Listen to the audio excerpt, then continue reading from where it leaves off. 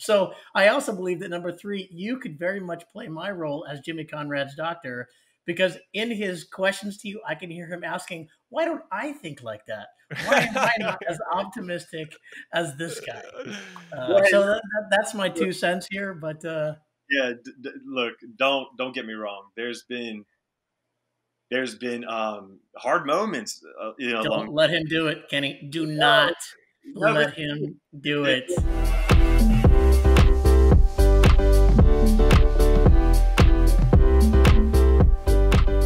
Is up, everyone, and welcome to another exciting installment of your favorite podcast, Jimmy Conrad Needs a Doctor. I'm Jimmy Conrad. I'm here with my favorite doctor, Dr. Lee Hancock. What's up, Dr. Lee? How are you, Jimmy? I feel like we've done this introduction so many times because I hear it in my head, and and it just keeps going because I miss you, and it's only been three days since we cut our last podcast. And the podcast, I think I've been healed, everybody. I've been cured of all my ailments. Dr. Lee now misses me more than I miss him. No, I'm just kidding. I miss you too, Dr. Lee. So, we have a very special guest coming on today's show, Kenny Cooper. I played with him on the national team. I played against him in MLS. He played for Manchester United, 1860 Munich. He's got a crazy career, and I can't wait to get a little bit more of a deeper dive into what makes him tick and how he dealt with the success and failures throughout his career. Are you as, as excited as me, Dr. Lee? I am because I remember watching him play. I remember when he came back for. I remember when he went to Manchester United. I remember when he came back and played for Dallas, and so I've heard a lot of great things about him. So yeah, excited to have him on. All right, let's get that man on right now. And now he is joining us, the man, the myth, the legend, Kenny Cooper. Great to see you as always, my friend. Thanks, Jimmy. Thanks for having me. Okay, so first question Manchester United. You started at Manchester United to really catapult yourself into your professional career, and you went at a pretty young age. How old were you when you went over? I was like 18, turning 19. I was out of high school. Okay. All right. And so were you ready? I guess is my big question because that's a big jump from going to playing in high hmm. school here in the United States to going and playing for Manchester United. You know, um, I'll say I'll say yes and no. I was the biggest homebody mama's boy you've ever met in your life. So England was really far. It felt really far at the time. And so that was the big challenge for me was just going overseas, being a long way from my family. But I felt from a soccer standpoint, I felt confident and ready.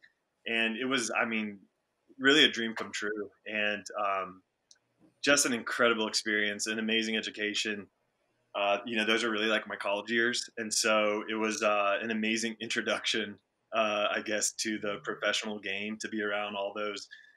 I mean, my heroes, really. I was just thinking the other day, actually, or today, how the, the crazy thing is when I went over there to train, I ended up in an inter squad scrimmage with the first team.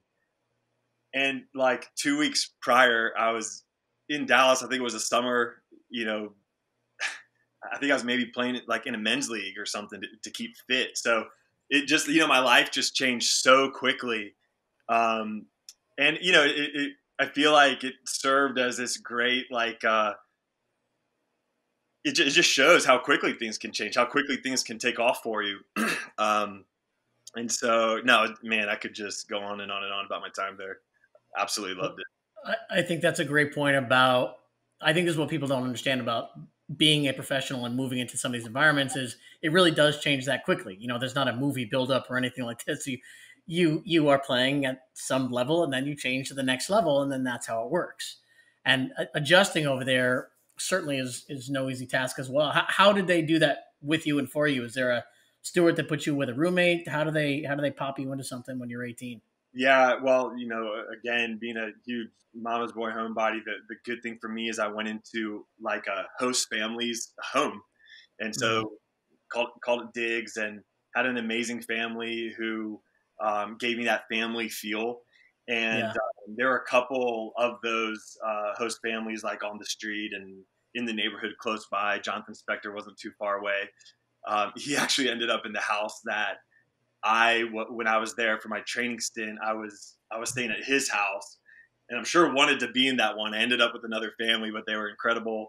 Um, and uh, so that you know that was great for for my comfort. I, I don't know if I would have been ready to move into you know an apartment by myself at that time, um, and so it was good to have that family atmosphere. But it was definitely you know a, a big shift from you know playing high school like you know I'm not sure my club team ever trained more than twice a week. Um, yeah. I, I was playing all the time, so the professional lifestyle was it was new for me to go from yeah. that to training every day. And I think what was really different for me was um, I was used to like in high school. I feel like I had these like long full days, like waking up early, like you know probably get my homework done real quick, get to school. You know, a long day at school. You know, maybe uh, club practice or you know school practice, homework at night. So it was like a really long full day. I went from that all of a sudden, all of a sudden to like you know, having that training session every morning going hard, but then having, you know, a long day to yeah. rest and recover. So that that part of it was different for me. I think I had to had to really learn how to um, how to be professional and to do the right things, you know, off the field so that I could be ready to go again the next day.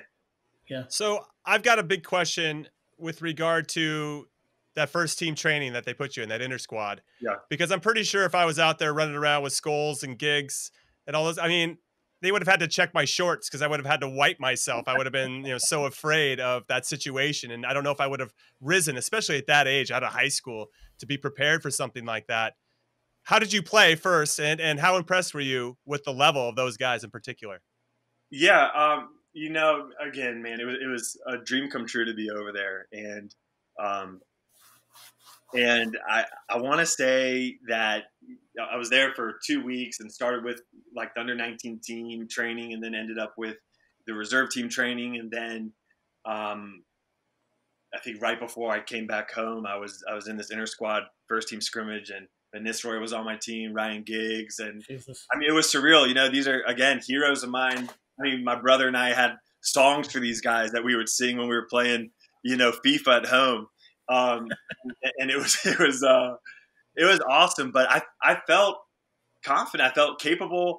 Um, I joke that man, my I I come from a home of um, just eternal optimist, and I joke that my you know my my parents brainwashed me to believe that my dreams were possible, uh, and I say it as a joke, but you know the reality is I just had a lot of um, a lot of support from home, and um, you know, I, I, think it was so important, you know, as I was jumping into my career throughout my career to have that.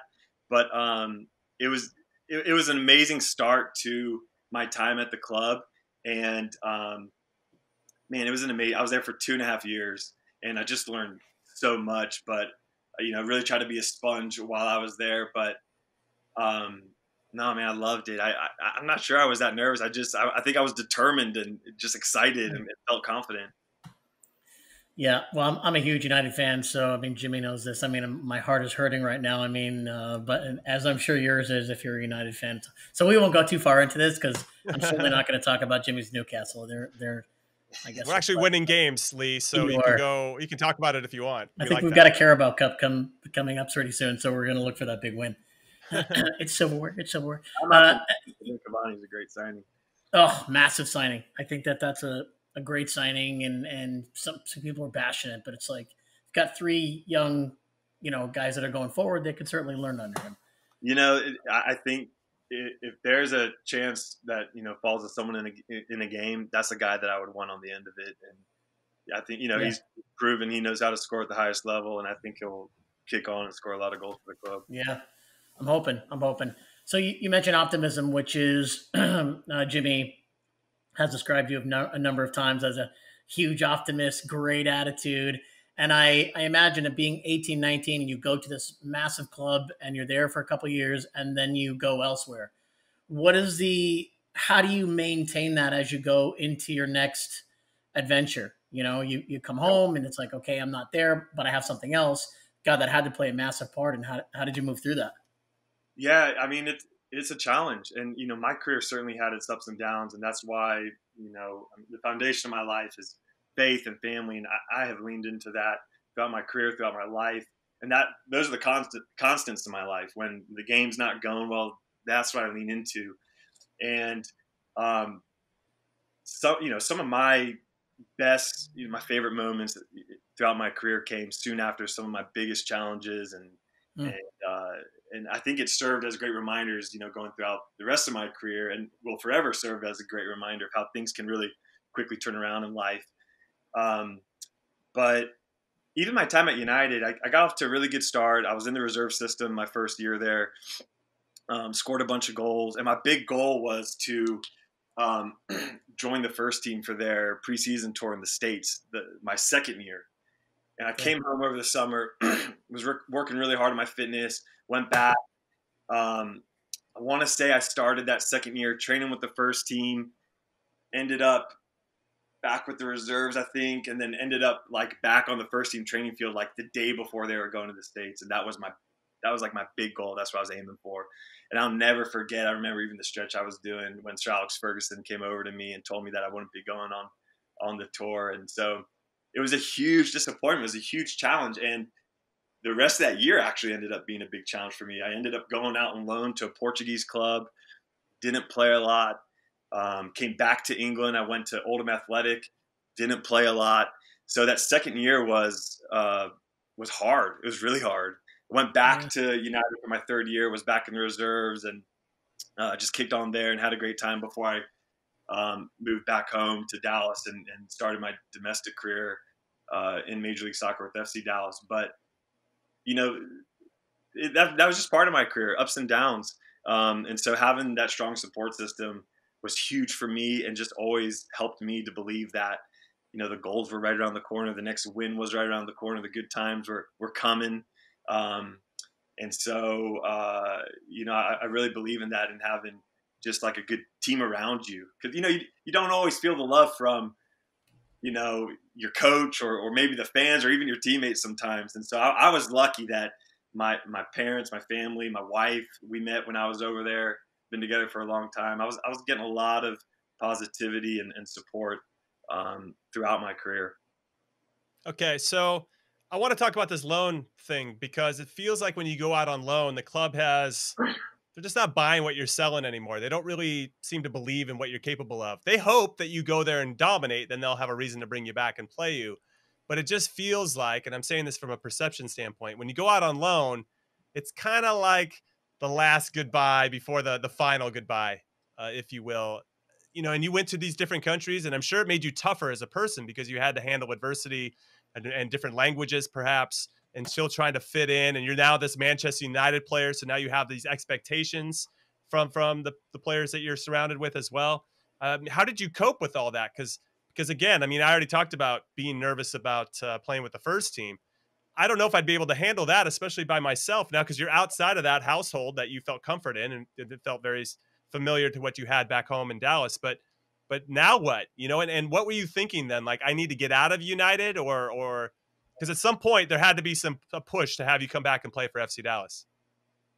Yeah, you know, it, it was honestly that that second year for me was really tough. It was, it was challenging, and and I looked at the loan the loans I did as an opportunity to, you know, like you said, to go impress, to go really, you know, score some goals, make an impression, and, and show that I'm ready and I'm capable um, to come back and step into an opportunity for the first team. And it went the opposite of, you know, what I was hoping for.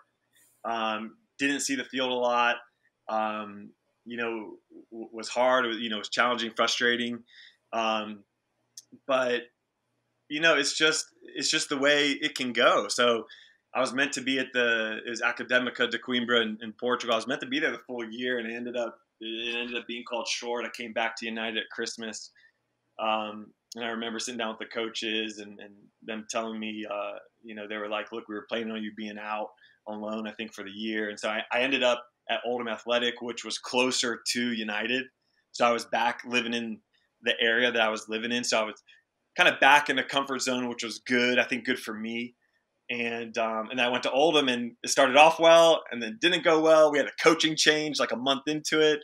it, it, was just it, it, was it was challenging. It was it, it was really hard, and um, that second year was like it wasn't a wash, but it was you know a lot a lot to learn from, and and some of the first like real adversity that I faced as a professional.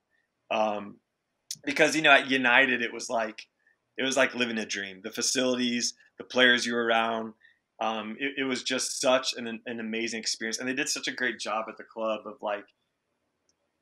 The amazing thing about Man United is that it's this huge global club, but it's a family club too. So when you're there, when you're inside of it, you feel like you're part of this family. You know, Sir Alex Ferguson really does have that like that fatherly figure, you know, around the place. Um, it's incredible. Um, and what they did a great job of was like integrating the the younger players with the first team. So even though I wasn't necessarily trained with the first team every day, you know, you would see these guys in the cafeteria in the gym. So it was, you know, I went from this amazing experience of like, you know, uh, I think like feeling like my dreams are coming true, learning so much, just like excited to being out alone and it just like just going bad, just going really bad. Um, so I came back to United, got back into you know that that reserve system my third year, and then I had an opportunity to come um, back to the states, back to Major League Soccer, and just at that point in my life, I just felt like it was the right the right step for me to do that. I learned so much, um, and, and I think I, I felt like there was a good opportunity for me to go play first team soccer and take all you know these great things I've learned and and and you know, go start that first team career kind of thing. Okay, Kenny, I'm going to jump in here, Lee. I just want to know because when you're telling these stories, and I'm sure Lee's already picked up on it, there seems to be some joy in your voice. Like, yeah, you know what? I was great. I may be a better person. Life is awesome. I just need to know now, as I listen, does Kenny Cooper get sad? Is that possible? Absolutely, man. I remember crying on the floor like my early days at United. It, it, it was it had a lot of difficult moments, but my high school coach, who I'm good friends with, he, he has this great quote. He said, he told me a long time ago, he said, you know, good moment, bad moment, or good experience, bad experience, all good experiences. So, you know, on the other mm-hmm. side of the bad experiences, I see, you know, the opportunity for growth and, and, um, and, and again, like throughout my career, I had, you know, by the grace of God, I had these amazing experiences. I was at United. I played for played my hometown club with the national team with you, man, with you know in Seattle. But I've also had serious injuries. I've also been, you know, sent to like reserve games at 8 a.m. and left out of the squad. So I've had all these different experiences that I think, you know, at this point in my life, I really appreciate. And it's, I think, helped for my perspective and has created like an empathy within me that I feel like I I've kind of experienced all these different things within the game, and I feel like I can relate to you know all these different players what they're going through, um, you know, good or bad. Um, Jimmy, can we talk as if Kenny isn't here real quick? Let's do it. Let's do it. He do is fantastic. I mean, yeah. I, I, love even when he said cry. He goes, "Yeah, there were some times I was crying. It was crying right over there." I love that.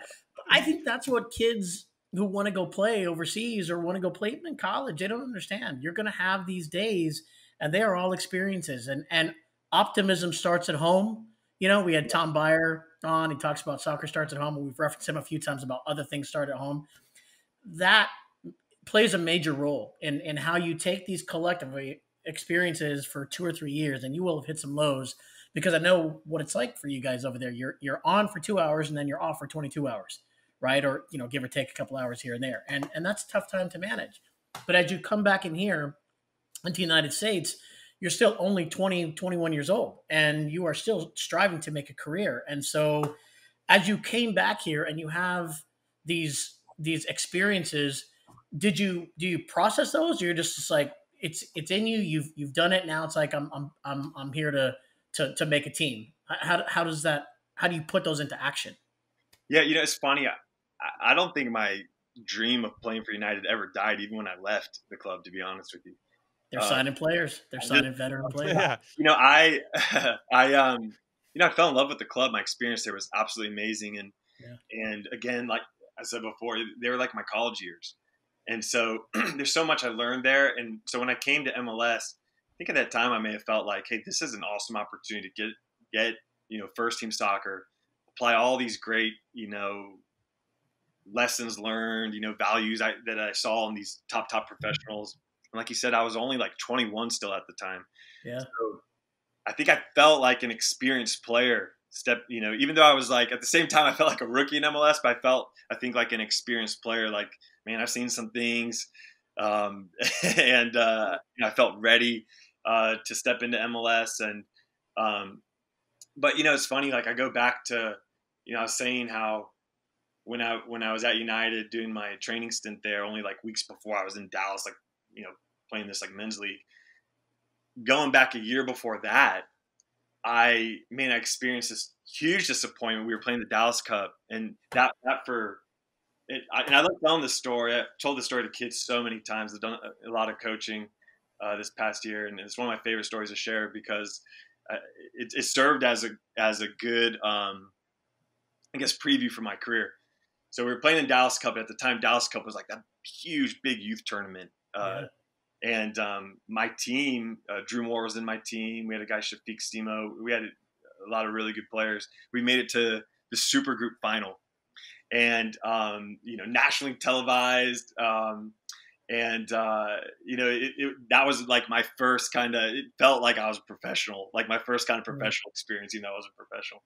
Uh, so we made it to the final and I came on in the game in the 60th minute uh, as a sub. And Wait, who are you playing? Who are you playing against? Playing Nottingham Forest, and okay. um, I hit the crossbar four times, oh. including including the last penalty kick.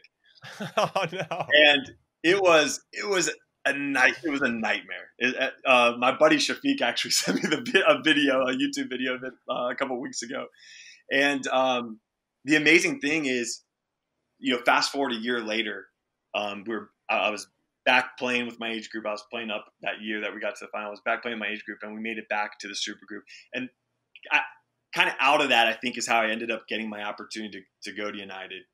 Um, and so, you know, I had this huge disappointment only a year later around the same time to get this opportunity to go to United. So it, it served as, as this good, like, again, like a preview for me of like, you know, yeah, big disappointment, but then like a huge opportunity. And so I think throughout my career, I kind of had that in my mind, like, hey, with the losses, with the defeats, like, you know, just stay optimistic, just keep going, keep going, because there's, good things uh, around the corner. Jimmy, before you before you kick on, because I can see you want to ask a question, I just want to make this observation. Having listened to a number of you who have come on, you know, Jimmy, you have your failures and you have an fu mentality, right? Of I'm, you're not going to tell me no. And it sounds like Kenny, you've got a similar one, but it's uh, just from a different perspective. You know, almost like, well, I'm just gonna I'm gonna keep going. And you may have that fu in there, but it's described differently from you. But either way, those failures have served each of you to to propel forward into that next step, which I, I find interesting from from all of you guys, and this in particular differently. Yeah, I mean, I don't know if you want to touch on it, Jimmy, but I think just that mentality of like, hey, you just keep going, and no matter what someone else believes about me, you have that internal belief, mm-hmm. um, you know, that it has to stay strong. Yeah. No, I, I wanted to show you some credit because and shower you with appreciation and respect. I feel like had I had that opportunity with Manchester United and then came home, I would have. I'm not trying to project onto you. Obviously, you handled it with total class and went on to score 40 goals in 90 games for FC Dallas. And I want to get into that and kind of where it propelled you to go into the next thing. But I would have felt an ounce of I didn't make it. I had my opportunity. I was there for long enough, and I didn't make it. And I maybe would have came back and felt a little bit of shame, you know, and being embarrassed a little bit that I had this, and I not that I squandered it because that that seems like that's what Freddie Adu would do, you know, not Kenny Cooper, but but it's just like it just didn't play out in the in the way that I wanted, and now I've got this on me. It's almost like this pressure on my back to have to perform, and and I can't say enough about you coming back and having a positive mentality about the whole situation, and still in love with the club, and then went on to perform great for FC Dallas. That led to national team appearances. I was the captain uh, for the game that you scored your first ever national team goal. So I'm very proud of you for doing that under under my watch as captain. but but what I want to get to is that you come back, you do well for FC Dallas, but there was still this pull to go back to Europe because you went to Germany to play for 1860 Munich. Why why did you leave when you were doing so well in MLS? Did you feel like you still had something left to prove? Um, good question. Um, so when I came back to when I came back to Dallas, I was there for I want to say it was three and a half years. My first stint with the club was three and a half years. I played for him again uh, later on, um, yeah, I think you know, just at that time, I think I was just craving a, a new experience. Um, you know, it, it's so interesting. MLS has obviously grown so much; it's come such a long way, and I've said this a lot of times. I feel like when I was first starting the league, a lot of players wanted to go to Europe to get this like soccer culture, like fan experience. Um, where you know nowadays, man, just look at Atlanta. Look, you know, I think that that some of the atmospheres in the league, you know, are up there with some of the top around the world. It's it's incredible. I went to MLS Cup in Atlanta a couple years ago, and I was just I was blown away. I was blown away. I was only out of the league for just a couple years, and it's just it's so impressive where it's at.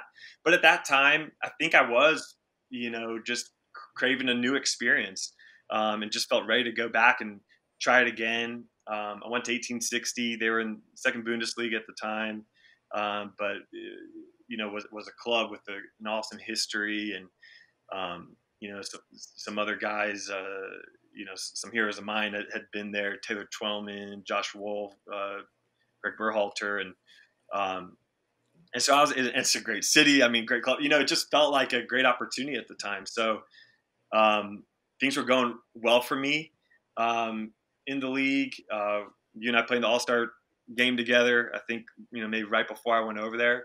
Um, but I think at the same time, I, I was really wanting to make that World Cup squad. And I think I felt like around then, like just that this move would help with that. Um, and so, yeah, went back um, and, uh, you know, gave it another try. Yeah, I, I love that. I love the fact that you were seeking a challenge, and I think that's that's really important for athletes to continue to do and to be around the right people that will feed that desire. Because I think sometimes athletes get comfortable or they they they're thinking something and think I don't want to do that because I'm I'm older and now what if it goes wrong? And I think that plays into your into your optimism. Um, and and quite honestly, the relationships that you've cultivated with your with your then wife or I don't know where you were in that relationship and family, obviously. And um, so you go over there and now you come back. Is it the same feeling of optimism that you had when you came back from United? Did yeah. You, did you approach your career the same way as you started to kind of move into your second venture, or what was that like? Yeah, definitely. I was I was so excited to come back, and hmm. um, you know, was a part of a really special year in Portland uh, for the Timbers inaugural season. And I remember Molly and I uh, watching a video of uh, Timbers Army and just being blown away. I mean, you know, again, you talk about this fan culture and experience. I mean, it was there in Portland. Yeah. I didn't feel like I was leaving, you know, this great soccer culture to go to, you know, a bad one. I felt like I was going to this incredible one, and it yeah. was incredible. Um, it was so special to be a part of that that season, and um, when I came back, you know, the the rest of my time in in the league ended up being a really transient one. Went from you know one club to another, um, but no, I was I was excited to get back and just um, I think just wanted to to show that I can, you know, still score goals and and be at the level that, you know that I was when I left the league, um, and uh, yeah, was you know, was excited yeah. for that opportunity. Yeah. So so Kenny, I'm going to jump in here because I'm looking at your stats once you come back from 1860 Munich. You play for the Timbers score a bunch of goals for them in the inaugural season. Then you move to the Red Bulls for a season, score a bunch of goals for them. Then you move to FC Dallas for a season, and then the Sounders for a season.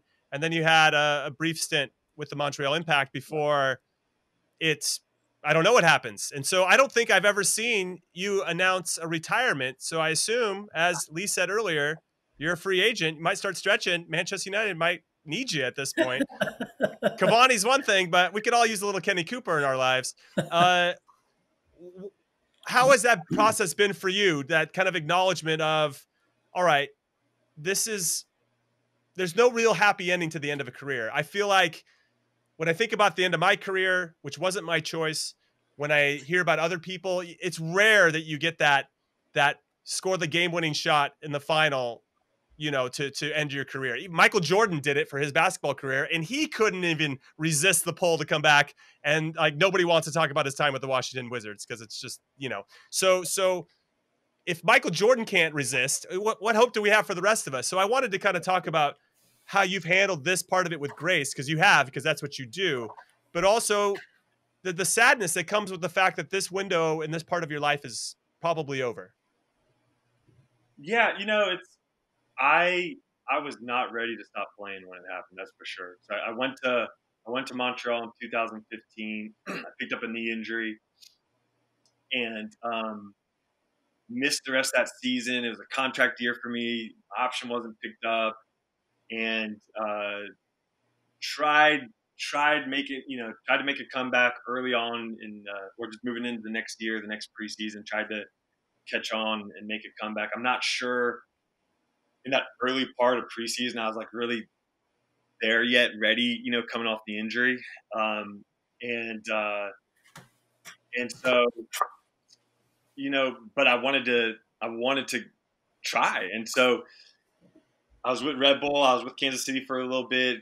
Didn't work out. Didn't have an opportunity at, at either place. And then Jesse Jesse Marsch, um, really great with me. I was in the New Jersey area, and he let me hang around and train with the with the squad for a long time uh, as I was trying to get back. And I mean, I was trying to get back for for a long time, trying to make a comeback for a long time, and it just didn't happen.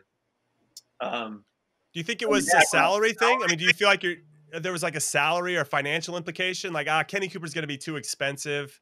You know, look what everything he's done. We can't afford him, so you wouldn't even really get that chance. Because I always wonder how that works. Because it's as being an aging athlete myself and going through that process, you kind of hit your peak. Aging, aging athlete. Can I can I just hold on to this dream? Okay, just let me have it. Listen, I, I have uh, I have over forty leagues to play in and compete in, my friend. All right, those matter to me now. They matter just as much as when I was playing in the World Cup. well, well maybe not that big, but but but when you come down the mountain, it's like oh, this reality of I'm probably never going to get to play for my national team again.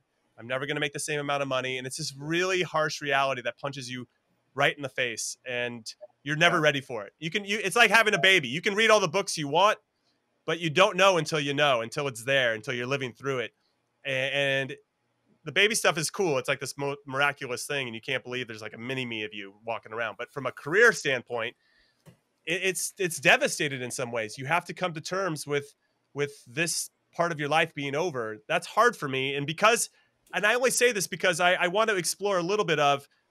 You haven't acknowledged that you've retired. You've kind of let the door be open. I still see you training on Instagram and doing your thing and I love you for continuing to be open to it. And I wish teams would be open to it as well because I think you'd provide a lot of value, whether you're starting or not. The the influence that you'd have in a locker room would be second to none.